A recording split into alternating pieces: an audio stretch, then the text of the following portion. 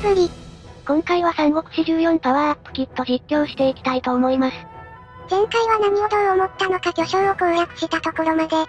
いけるかなと思って攻めたんだけど攻略できてしまってね。ただ、そのせいで真のと縁がかなり危険になってるんだけど。武将不足というか戦力不足が問題になりつつあるね。問題は解決策が何もないことなんだよな。孫将以外の孫生が見つけられないから。孫一族が出てくるのを待つ以外戦力が増える要素がないからね。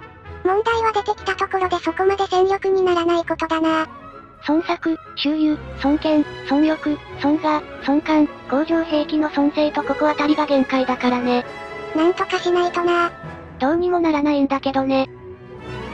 次の目標は当然女難なんだけど。曹操様がいる上にそれなりに攻めづらい城なんだよな。女難を取ると蜂蜜さんもうるさくなりそうだし。盾としての役目が終わる時かもな。そうだね、そろそろ揚州方面から北上することも考えないといけないかもね。そのためにはもう少し曹操軍を叩いておきたいかな。ただ、これ以上前線が増えると支えきれない可能性があるんだよね。今でもカツカツどころの話じゃないからな。他の勢力が減らしてくれているからなんとかなっている感はあるよ。河北では高孫山軍が、助州方面では刀剣軍が、領州では馬頭軍が曹操軍と激闘を繰り広げてるからな。どこも持ちこたえてくれているおかげで孫作軍の構成が維持できているんだよね。そう思うと小勢力が生き残ってるありがたさがあるな。でも、馬頭軍もそろそろやばいかも。攻めて攻められを繰り返しているからね。長安の兵を減らしてくれるのは助かってる。馬頭軍が頑張ってるけど孫作軍も頑張ってる。誰もいない深夜を攻める巨々と天意を迎撃するよ。孫力と孫官が援防衛の要。壊滅直前の戦法はやめろ壊滅直前の一騎打ちと同じくらいに腹が立つんだよね。損害が少ないといいんだけどな。孫力たちの活躍を見てたら曹操軍が壊滅してた。馬頭軍ももう少し頑張ってくれそうだね。長安の兵をもう少し減らしてくれたら助かるんだけどな。巨匠から出陣した女難攻撃部隊が迎撃されてる。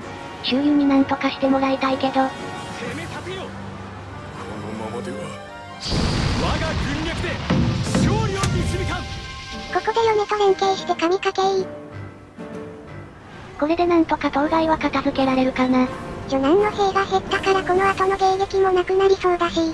許容範囲内の損害で終わりそうだね。円に攻めてきてる。馬頭軍攻めて壊滅したのにまだそんな余力があるなんて。巨匠攻略しても、1ヶ月2005兵の年がまだあるだろうからな。捕まえた。雑魚でも捕まえていかないと。年の戦法がコブなのがありがたい。孫官が仕事したか。死にたくないという奴が最初に死ぬのだ。忙しいからさっさと首塚に運んでおいて。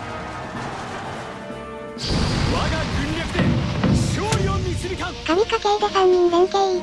孫生の勝者も入るからありがたいよ。願わくば嫁も含めて4人連携にしていただきたかった。そういえばまだ4人連携はない気がするね。孫一族で固めてる時でもな。第2形態、曹操様がいてもなんとかなる。と思ったけど、曹操様はもう逃げた後のようだね。さすが危険を察知する能力は高いな。最終形態、早く攻略して次行かねば。ここは前回攻略しておくべき年だったからね。背負っているものの重みが違うわ落城寸前で孫権さんがソロ戦法。ほんと連携しないよね。親愛の周囲が隣にいるのにな。とここで女難を攻略。よし、まずは前回の宿題を終わらせることができたね。どんどん行かねば。その前に捕虜の選別と首使いの輸送がある。選別するまでもなくいないと思うけど。パッと見いないけど金、芝居、加工派はでかい。長州と文平も地味に大きいね。曹操軍の主力武将をどんどん初段できてる気がする。あとは常用をどこかのタイミングで攻略すれば巨々と天意の首は取れるかな。いつ攻略できるかは不明だけどな。そうなんだよね。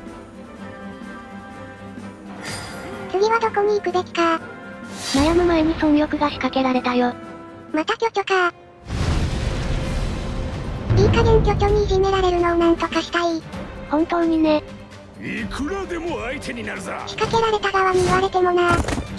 損力の場合はお前がなーとなってしまう。味方に言いたくはないけどね。一撃はないけど。一応はやり返す。けど、終わり。打ち切りしなければ何でもいいよ。で、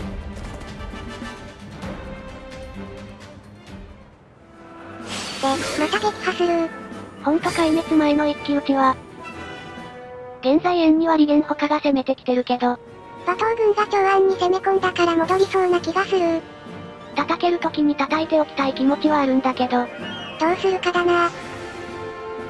迷ったならば迎撃する。投石利点だけでも潰せればいいしね。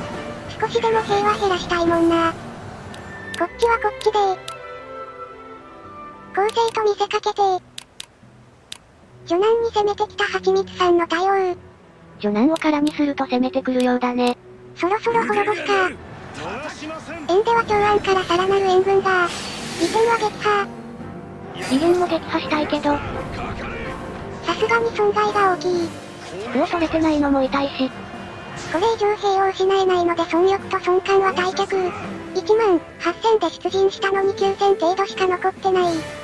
馬頭軍はもっと頑張れ。と言いたいけど最初に攻めていた馬頭さんはもういないね。え、まさかの瞬殺。その可能性があるね。役立たないな。馬頭軍が問題なくなったせいか戻ってきてるし。なんか捕まえた。蜂蜜さんの武将かな。また捕まえた。みんな蜂蜜さんのところから逃げ出したいのかな？逃げ出した先が首だけになる勢力とかな。というわけで、蜂蜜さんのところの武将は、さっさと処断。蜂蜜さんのところにも結構武将がいるから一人でも処断しておきたいところだね。逃げられたら面倒だからな。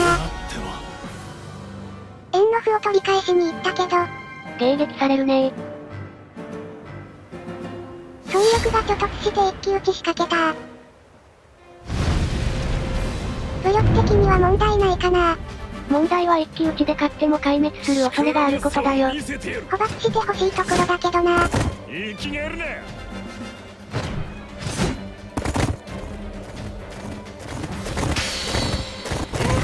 きなりやられる。ストレート勝ちをお願いしたいんだけど、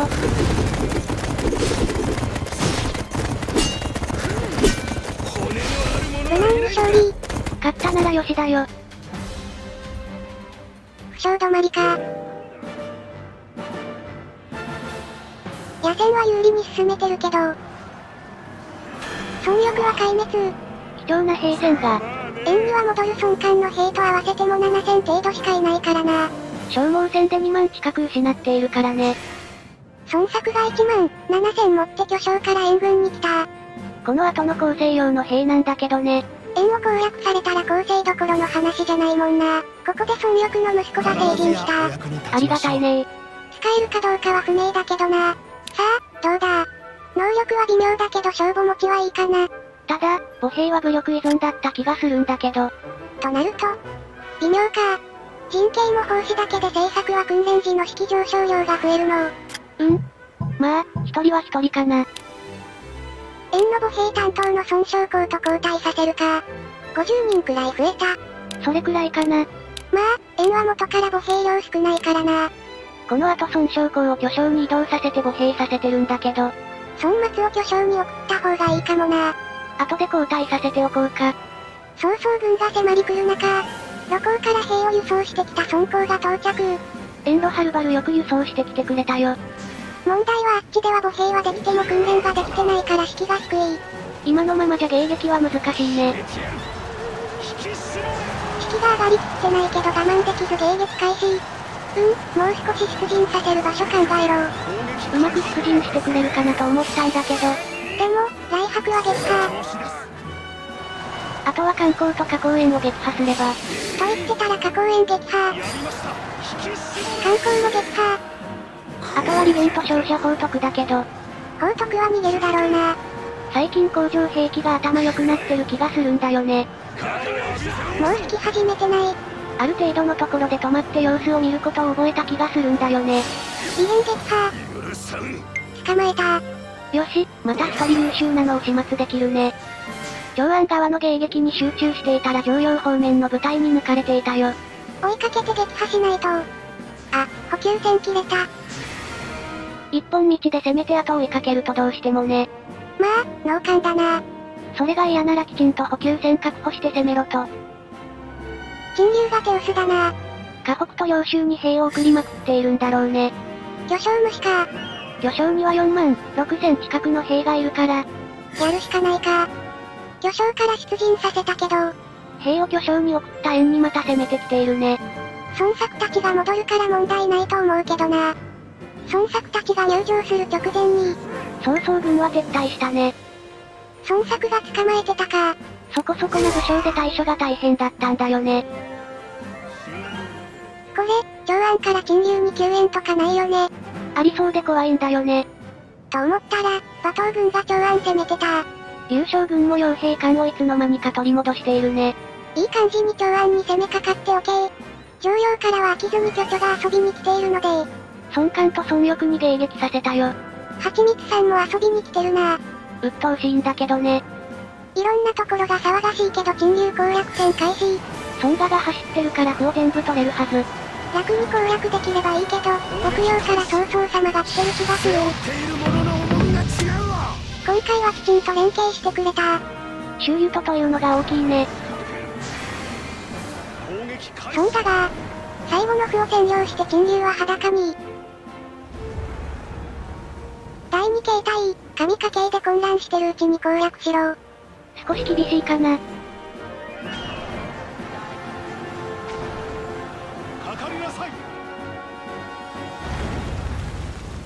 最終形態、まだ混乱してるぞ。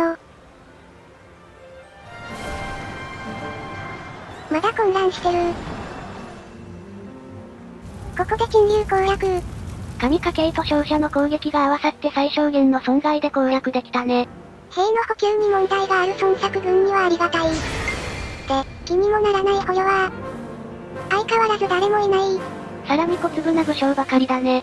曹操軍もそろそろ人材が枯渇してきたか。それはあるかもね。まあ、分間切るのも悪くないからな。少しでも武将数は減らしたいからね。はちみつさんと孫作が激闘を繰り広げてるけど。女なんと陳留を攻略したところで今回はここまで。ご視聴ありがとうございました。